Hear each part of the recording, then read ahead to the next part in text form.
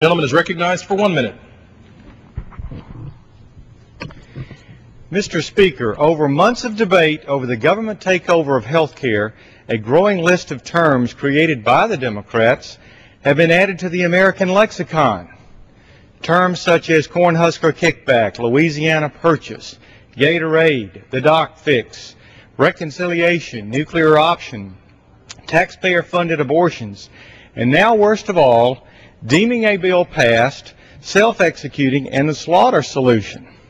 The Democrat House members carp that the American people don't care about the process. After speaking to thousands of Americans about this, not only do they absolutely hate this bill three to one and feel it will damage America forever, they feel the Democrat Party's arrogance of power is unprecedented in American history.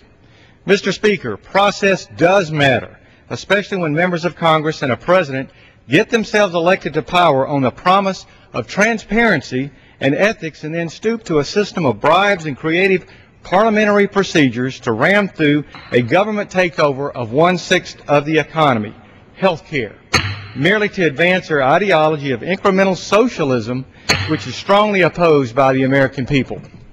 Thank you. For what purpose does the gentleman from Tennessee rise? To address the House for one minute. The gentleman is recognized for one minute. Thank you, Mr. Speaker. It's March.